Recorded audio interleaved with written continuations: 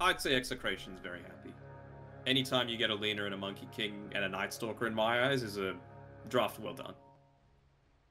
The battle Ara's gonna be careful here though. Look at old backstabberoonie. Cough up first blood.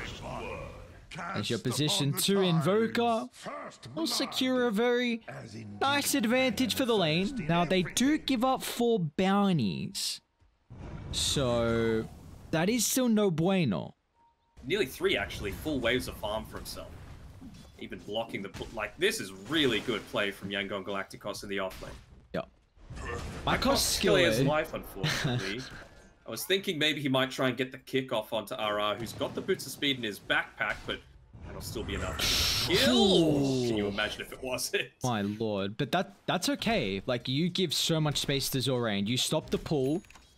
Zorain just got two free waves, maybe even two and a half under the tower. Now he's getting an extra one because he stopped the pull. So that that kill is absolutely okay. Yeah, I thought bottom lane was going to go a lot better just off the back of maybe the Dawnbreaker could contest top, surprisingly. But Rage of Potatoes A-okay. Might go back in now.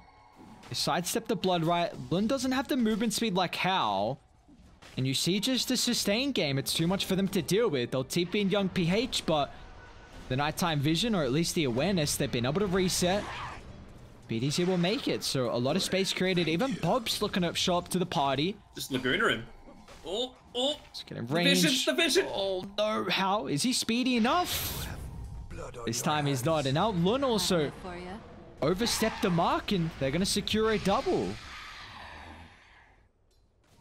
I agree. Um, you've got Zorain, who's been able to, you know, somewhat recover at least in terms of levels. You know, eight and a half Oh, minutes. How's in He's- trouble? Mass TP's coming through. Solar Guardian heal. Is it actually going to be enough? How? To the outskirts. No, they won't keep him alive. But nonetheless, they will gap close on Bob. And now BDZ is also the next target as well. Execration, they're not going to bring the numbers in just in case you can get some revenge down bottom. They're, they're happy with just giving up two because of what they're getting out of the map. It's a five-man commitment, though, yeah. So you can see Tino top side looking to pressure the lane in immediately, trying to push it away. Help even RR realizing, you know what, farm probably not for me. I'm just gonna go and take away the bounty ring. The space. Now you got to be careful across the map as how. Well, if they're not coming for the Monkey Yeah, King, right. they're going somewhere else and straight on the Bloodseeker. Solar Guardian healing. I don't think it's enough through the burst, or is it? House somehow surviving for a decent rate to allow for the reinforcements to show up, and they'll punish. Yes, the Bloodseeker will lose his life, but the answers are there with two heroes dropping. Oh, top. Gonna relocate to catch out Skill Lay. Nope. Will they kill him? Please tell me. Oh, wow, we that was very close. Um, we've seen what's been happening though with the Solar Guardian. Like they've been getting a lot of space. Uh, you you are heavily committing to take one target. Hold that thought, young PH. Lon might have to swap him. Solar Guardian coming to the fray. They're deep next to the T2 tower. Does the Bloodseeker want to look to show up? Radiant. They need a way to protect young PH, but Tino's just locked on. Die with me. They're even going for Zorain, man. He doesn't know when to stop on the train. He's just going for a secondary target. Bob to pick up the double. They haven't skirted off the tracks and they're at the destination of kill, kill, kill. Is he? Araz Like, nearby. hell? This swirling light, guys. Is this a oh, bug? Oh, they brought Bob back. Bob. Oh, surprise! BKB Lina, they're gonna chase him down. Oh no, they weren't ready for that. All of a sudden, two heroes appear at the blink of an eye. And at the same time, their heroes evaporate instantly as Zorain. Oh, nice use of the ultimate this time. He'll pop it to escape, but. Ow, that's the trap sprung. And then by the time they get back, guess what? Nighttime. So you might not have the Dark Ascension available, but use the Arcane Rune before popping it, so the downtime isn't going to be that bad. And uh, yeah, they're just trying to look to clean up the Vengeful Spirit. Ended up using the Crippling Fear just before the daytime, actually. They're gonna relocate on the T3 tower. Man, Execration have their number well and truly. And Zorain. No escape. They do use the Wukongs a bit ambitiously. They're actually going to look to take the fight, but instantly they'll lay down the Ravage just to make sure that Yangon have no way to even deal with the first life. A swap to safety, but um, Skille will fall. Run to join him in the afterlife. An Ultra Fatino. Give this man a rampage. He well and truly deserves it with his performance so far, and it looks like he can pick it up. As Bob is like, you know, brother, I'll give it over to you. You know, with how well you played, it's only fitting for us to potentially end on a rampage. That must be the thing with the Dawnbreaker. It's just, it's too new, you know? No cosmetics, that's why. Just just wait until this hero grows in power. Then you'll know the true potential of the League hero. You ain't going one one last ditch attempt. Oh, House just getting ripped apart. The the leaner machine gun as the game into it. goes on. As the crits are too much for them to deal with. Like you were saying, I mean, it's. There's a trend from Yangon. They don't tap out. So, Execration will have to beat them into submission. Which they're well and truly trying to do. Alright, I think they've done it. Um, you, you think? I don't know. They're buying back. We got this, boys. Winnable. Bobby? Do they want two rampages? Is maybe that the reason? Oh, that is... No, you stopped the double rampage, Tino. Okay, well, still you haven't gotten on top of the IO. They tried to swap him out of the Wukongs, but just the outskirts was not enough as... There we go. How will call it quits in Execration. An incredibly solid Game 1 performance from them. Back for vengeance. Absolutely.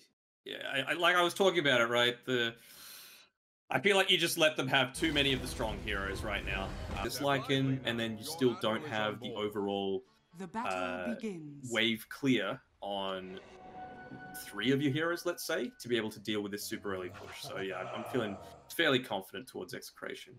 This, do you think? Oh, actually, Tino, they're looking to make a kill attempt here onto Skill A. Getting the damage in onto the Venge. Is it going to be enough before Tino is able to get the Jakiro kill? Well, they got Skill it.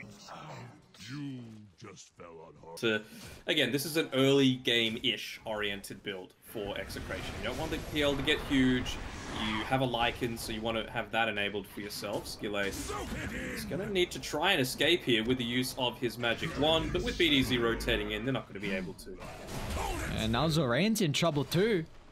They can just overwhelming with their number of heroes and all of their stuns. They have now the avalanche is available. And poor old Mars is going to stack up to his second death of the game and secures a double for Tino. So he's got four very early kills and this bottom lane is already disastrous. Attack. Rage Potato looking for the first shapeshift use of the game. How will need some extra reinforcements, or he can just play off the back of the illusion dodge. max coming Race though. Duke, and now they'll also cut down the tree, so they're looking to try and focus off BDZ. Now, Bob's RP is on cooldown, but the haste will give him at least some distance to play with on the outskirts here. But Rage Potato is also very weak, so he can't commit deep under the T1 tower. But Bob can cleave down one. He won't find the second. How again is looking for the illusion juke. He's gonna find it. A kill on top of the Magnus. Now Rage Potato as well might cost himself his life. An early s- earn pickup from Skill Dire's Late. top tower is Can they find him with the. Spirit Lance? They won't even need it. He'll tick out to the damage over time. BDZ showing back up once again. And he'll have the damage to go through. Radiant's How? Now he's going to be cautious though, because the extra reinforcements. It's a party up top. And Lund will be able to pick up his second intel stack of the game. Four points, Ava, two in toss. This will be the true test if they can burst through young PH. Might just try and find a, a stack towards his level 9 before he gets involved. It's gonna look to give an opportunity for Yangon to bring down Bob. Are. Looks like he won't be able to get away. Reinforcements too late. RR showing up. Arena will trap in three, but maybe that's not the place Zorain wants to be. Or is it, as Young PH still has got so much damage from afar. The Arcane giving a low cooldown to the Tidebringer. This is a big kill if they can get Tino as well. Maybe move it towards an Ultra kill for the Conquer. It's such an early stage in the game, but Tino, nice jukes. Gonna go back down to the southern side to refresh the blink, and Tino's out. Quite a rapid rate. Dire's top tower has fallen. This couldn't have. Means that if it does get to late, Lun with his uh, scaling on the last word is going to be very nice. Lots of damage coming out there. Bottom lane. Radiant Sorry, evaporates. They're actually still feeling like they can stick around, but they're going to be cautious. The global silence laid down. We'll at least give them some assistance to retreat to safety. They need the extra reinforcements. Even Hal's looking to show up as well, but a great toss back into the Wukong's Tino. He's showing up huge on the position one tiny. This is something that we might see coming to fruition a, a little bit more through the, the playoffs here with how well he's been performing. Yeah, Unfortunately for How, he's not able to make that impact. I feel like maybe he looks to commit if he's got the diffusal blade available, as they're surely not looking to converge it onto him, are they? Let's see, under the smoke, Tino, the Lycan Wolves doing the scouting. Oh no, how, how? Ghost Scepter to try and survive against all of this physical damage, and you know I understand why. You know, a decent start to the game for Lun with those that uh, stolen intelligence, but it's just not going to be enough. Oh. BDZ. Probably not the he wants to die on, but Space. With Wukong's is okay, we're just sticking nearby and yeah, like you said, space created. You wouldn't want to spear him off and allow him to get out, would you? Well, You wouldn't want to spear him off. he should still die to the curse. Roche is about to fall, Zorain making the attempt to snag it. The rest of Yangon coming over. They've lost two heroes on execration. Are they gonna give this up? Who's gonna snag the Aegis? Bob will just claim it, but they've still lost three. Maybe this is the fight they're looking for from Yangon to bring them back into this second game as Tino is about to fall as well. They found a route back in and well, Bob's gonna make it a, a hell of a play to somehow get out of dodge. Maybe he can kill a couple heroes before he falls into the grave. Nice play with the Phantom Rush as Hal gets out to safety and they also dethrone the Magnus. Honestly, it almost feels like a. Does it feel like a Blink Dagger game? I mean, I feel like you need to really be punishing the way that BDZ is playing this. He's even gone the Mage Slayer as well, by the way, which we haven't highlighted. Rage Potato. He's gonna use the shapeshift here. How beautiful play with the illusion dodge once again. Now with a doppel, they're gonna jump in. Arena sets up for the bow. The Magnus is in trouble with the global silence laid down, and there's no escape for the Lycan. So Yangon pulling up a couple of solid fights here. How is my god, he's very good on the Phantom Lance. That illusion bait into the doppel? Whew. There's the Lycan's even able to scout out as well. So Bob, great target. They'll lay down the global silence that are not enough to keep Zorain alive, but he does have a buyback. So they push past the tier 2 tower. He's probably gonna be forced to pop it, but man, Rage Potato. Oh, there's no Ghost Scepter on the Jakiro. Lun might have to use his. Wonder if he queues it up. Uh, wait, the, Stupid Dragon Man just chasing him into the base. oh yes, 550 movement speed, very cool. Alright, eventually ends up going down to the tower, so not even giving up the gold, I don't believe.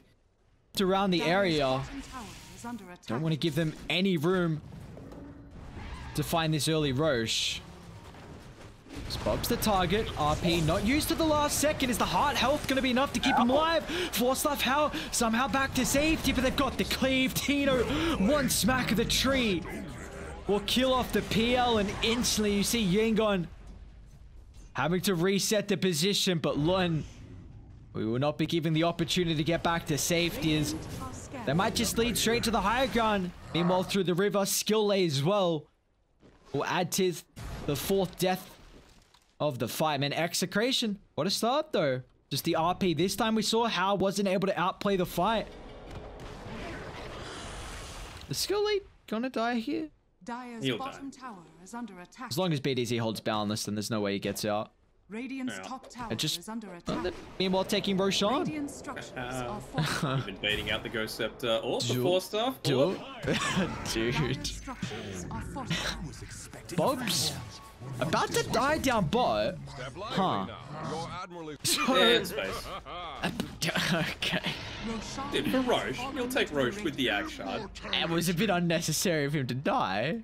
Rain is not going to be the one that picks it up, though. Dire are scanning. So is this like a coral tree? Or do you just call it a coral that Tino's got? I would. Which one? I said two options. Coral or barnacles. Oh, how? They're actually going to jump in to take the fight. Zorain just whiffing on the spear. They're still going to try and prioritize this. Actually, the Aghanim Scepter. So Tino's running around in his own shapeshift. The Crimson's mitigating a lot of the damage at the moment. You've seen they haven't been able to kill off the Phantom Lancer either, so the illusion's starting to stack up. They're looking to try and control an area of the fight, but instant they'll sidestep out of the Wukong's Howl, going back in, straight on top of the Lycan, but the control is lacking, and the life of Howl soon to be lacking as well. There's three down on Yangon. They won't cut down Conquer. But another successful fight. Such quick succession is way too much to deal with. It, it's, it's overwhelming at this stage. Oh, Jakiro's got Ghost. Okay, well, Silence has got nothing. Gonna hope for a play with their defense. Maybe tiny overcommitment. Is got- onto the edges carry though. And you don't have a Phantom Lancer as well to rejoin. I'll kill off the first life. They've got RP and Shapeshift in a couple seconds along with Wolf Bite. So get rid of the Silencer and the dieback. Tino's still pretty deep at the moment. They just have to poke and prod, not heavily commit. Oh, now you've got to reset. You cannot fight into this. But Bob, Well, you're gonna not have going to give They're- them an opportunity to as they're just hitting tier 4 towers. Someone needs a defense. How's up in five? Oh, I don't, I don't know where the defense can come through from though. Tino's gonna jump in. Ava, look at all the clear bubble skew in the back as well, and how he's just looking on. Maybe he can get rid of some of the supports even then. That's not an easy target at all. As now they'll be able to control the top side of the fight here with the Wukongs. He's trying to solely focus down Hal, but meanwhile Tino and Bob dealing with the backline supports. His skill label lose his life, three down. No buybacks available. Bob will attempt the TP. He won't make it out. Do they have any detection for Tino? Young PH trying to play around, but I mean, the, the thrones, it's fallen low here, guys. And there's no defense. This one's over and done with. There's execration. they want the kills before they end it. The cleave will even add on top of that is an incredible series performance from execration, taking it 2 to 0.